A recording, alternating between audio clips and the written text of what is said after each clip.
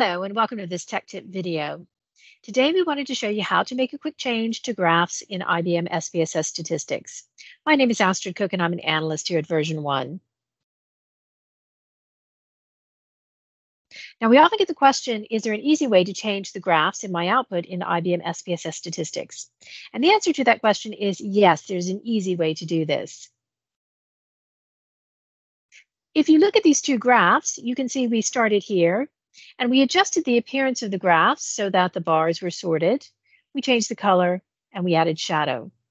And the way that we did this was we followed a simple rule. And the rule is click on the thing you want to change.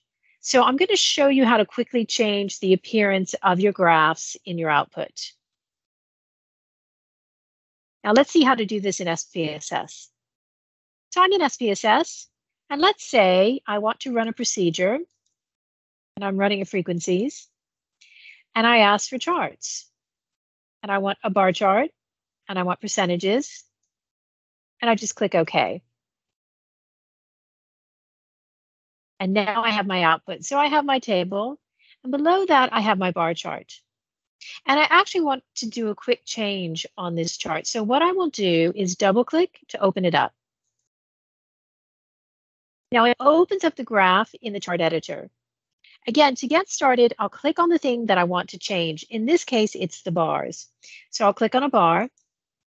And you notice that all of the bars are highlighted. There is a gray line around each of the bars. I'll right click on one of the bars and select Properties window.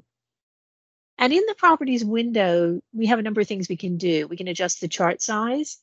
We can adjust fill and border, categories, variables, depth and angle, and bar options. So I'll start on fill and border. And I want to change the fill. I'll click apply. And depth and angle, I want to shadow. And I'll click apply. And then for categories, I want to sort by the statistic. And I want to sort descending. And I'll click apply. And then I'll click on close. So now you can see I've very quickly change the look of this bar chart. The other thing I can do is go on the Elements menu and simply ask to show data labels. Brings up a Properties box. I'll click on the number format. And of course, I can change this so that I'm only showing one decimal place. So now you can see I've made a very quick change to this graph.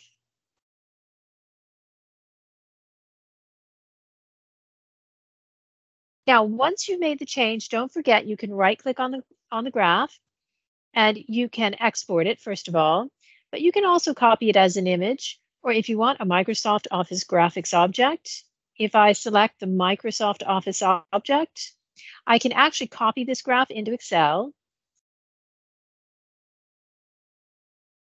And you notice that once I brought that graph in, the chart design tab is now active. So here's where I can change the look. And I can control things such as chart elements, chart styles, and chart filters. So that's a fast way to copy a graph from SPSS into Excel.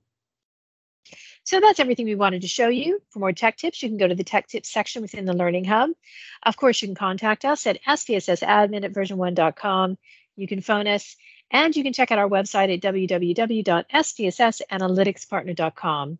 So thanks for watching and bye for now.